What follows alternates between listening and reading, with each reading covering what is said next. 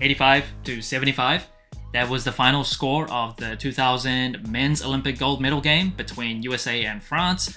10 points might sound like a pretty good win, but compare that to just four years before, in the 1996 Olympic gold medal game, the US beat Yugoslavia by 26 points, and in 92, of course, the Dream Team, they won gold by beating Croatia by 32 points. Obviously, the rest of the world was catching up to Team USA, and actually in 2004, it's a pretty disastrous year. They were only able to get a bronze medal, but what the rest of the world didn't have, and this is just hot trash of a segue, but what the rest of the world didn't have was Ray Allen wearing just one of the nicest Jordan 6s ever. Air Jordan 6 Olympics.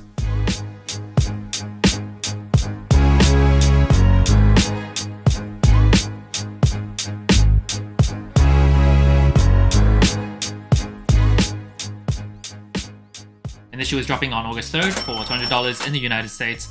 It did come back in 2012. How many times did it come back after that?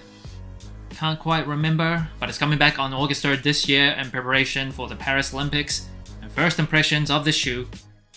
Oh, it's delicious. I love this type of color blocking on the Jordan 6. I didn't love the Jordan 6s for a long time, but recently it has grown on me. Don't know why, it just starts to look more and more sleek less and less like a bulky basketball specific shoe.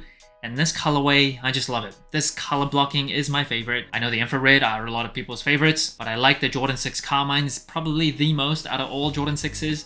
And the Team USA colors, I do live in the US. I didn't grow up here, but I live in the US now. So call me biased, but the red, white, and blue, it's very hard to disappoint. It's such nice colors to throw together. It just works really well. Nothing too crazy. Yeah, I just really like the color blocking, the colors chosen for this Jordan 6. And the shoe was worn by the likes of Vin Baker, who was also on the Olympics team, and of course Ray Allen, one of the athletes with the best PEs in the game. And of course the best moment of the 2000 Olympics, for basketball anyway, was Vince Carter jumping over Frédéric Weis. Weis. He jumped over him, like literally jumped over a seven footer, dunked the ball, iconic. In the upper of the shoe, it is completely leather, and you see this leather, it is very tumbled, almost a little bit overly tumbled, maybe a little bit too much for my liking. Kind of looks like the leather has acne. I had acne back in high school, so kind of PTSD there, but I know a lot of people really like that tumbled leather. It does feel pretty nice and soft to the touch, not like the most thickest cut of leather. And also on the upper, a very subtle design choice. You see the number 23 hidden the shoe, of course, designed by legendary designer Tinker Hatfield. He was inspired by a sports car. So you see, my least favorite thing about the Jordan 6 is that pull tab that is meant to resemble the spoiler of a sports car. Don't love how that looks, but at least it's better than how it looks on the Jordan 6 lows. I feel like that just really screws with the proportions of that shoe. And then on the booty, a red Jumpman that is stitched. And that is not Nike branding. This is not an OG colorway, so just Jumpman ear branding instead. And then moving up the tongue, you have this kind of neoprene tongue with Jumpman in the middle. Of course, the lace lock. This is the second Jordan brand shoe to use a lace lock. Again, one of my least favorite things about the Jordan 6 is the lace lock. I never actually use it when I'm wearing the shoe out and about, but a red lace lock, Team USA colors of course, and one of the most unique things about the Jordan 6, it is that tongue. Again, inspired by a sports car, you can put your fingers through the tongue and then very subtly the words Air Jordan. And you have this little flap that you can unbuckle and put your laces behind, keep it tucked away. Now the shoe doesn't come with any extra laces, just white laces. I think that's a bit of a shame. I think red or blue laces would look pretty nice on the shoe.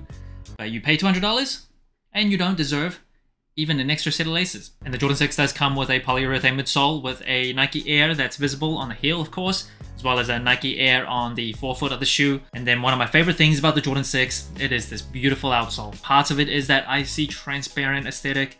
Love how that looks, just ice cold with that red Jumpman in the middle. This is like a honeycomb design. I personally prefer herringbone when it comes to performance, but I don't think many people are wearing Jordan 6s to actually play ball in nowadays. So for casual use, mostly about how it looks, this outsole looks beautiful. And the insole of the shoe, very nice blue, but it is just a Dreamcell insole. Nothing too nice, not a polyurethane insole, just Dreamcell. And the box of the shoe, it is special with some patterns all over, same type of patterns that you see on the paper inside. And now in terms of sizing and comfort, I am a flat and wide footer. For Jordan 6s, I do go true to size if I want a good fit. So true to size for me, width-wise, length-wise, it fits pretty well. But one of the worst things about the Jordan 6 for us fat footers is from a bird's eye view, you really see quite a bit of spillover, so you feel like your feet's just extra fat. But when I go up half size, there's a little bit too much room in the toe box area for my liking, so I've started to go just true to size instead for Jordan 6s. So for this shoe, I went true to size, and in terms of overall comfort, it's not like the most comfortable Jordan brand shoe, or at least Jordan 1 to 14 anyway, but it's decent. It's still relatively close to the ground, pretty old technology with two Nike Air units. The midsole is still a polyurethane midsole, and it's not as comfortable in my opinion as the Jordan 5s or the 3s. The 2s are pretty comfortable as well. Definitely slightly more comfortable than the 1s or the 4s. But yeah, for casual use, it's pretty comfortable, not super lightweight, but it does the job. And that brings the total sole score of the Jordan 6 Olympics to 30 out of 40. Pretty decent score compared to other general releases. And first, it is colorway. Like I said, it is just hard to beat. Combination of red, white, and blue. Even removing that Team USA bias aside, it's just such a nice looking combination of colors. Very easy. Yeah, I love the colorway of the shoe, and it's not just about colors, it is also about the color blocking on the sixes. This is my personal favorite type of color blocking for the six. Colorway is subjective anyway. Love the colorway of the shoe. And in terms of the materials, tumbled leather, if you like it, you're gonna love this shoe. It is pretty soft to the touch as well. Personally, I think the tumbled leather is a bit too much, but overall it is still pretty nice. The tech specs are super old, but I think it works pretty well still, even in 2024. And in terms of overall comfort, it's decent, not the best. I think the 5s, the 14s, the 13s are slightly more comfortable than the 6s, but it's definitely not like uncomfortable. If I had to wear this all day, wouldn't really complain about it. In terms of the versatility of this shoe, I think the 6s still look pretty chunky, more like an athletic specific shoe, so it's not super, super versatile objectively, but the colors of the shoe, I think it's very wearable, red, white, and blue. Everyone's used to it, very standard colors too, nothing too loud, nothing too bright. So the combination of those two things, it's decently wearable, but like not the most versatile shoe compared to like a Jordan 1, Jordan 3, Air Force 1, more like a Nike Dunk.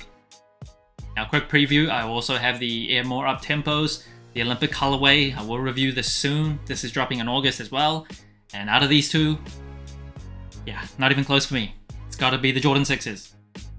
This shoe is easily one of my most anticipated sneakers of 2024. And with France looking like a bit of a powerhouse this year for the Olympics, maybe we'll get a repeat of the gold medal game between USA and France in 2024. So that's it. Thanks for watching. Sole Inclined. Like, subscribe, comment, all the good stuff. And remember, tomorrow may never come, so wear your shoes.